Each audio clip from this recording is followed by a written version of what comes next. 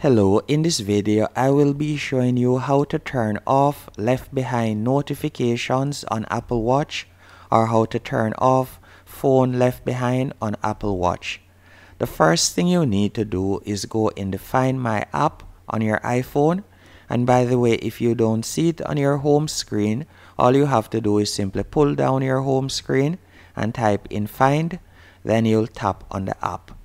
Then you are going to select devices in the bottom left hand corner and you are going to tap on the iPhone that you would like to toggle off the notification for and you are going to simply swipe up. Then you will see notify when left behind. You are going to tap on that and you are going to toggle off notify when left behind. Then you are going to tap on done in the top right hand corner and that's it as you can see right here, notify when left behind disabled for Apple Watch. And that's it. Hope you found this video helpful and informative. If you did, be sure to hit the like button and subscribe.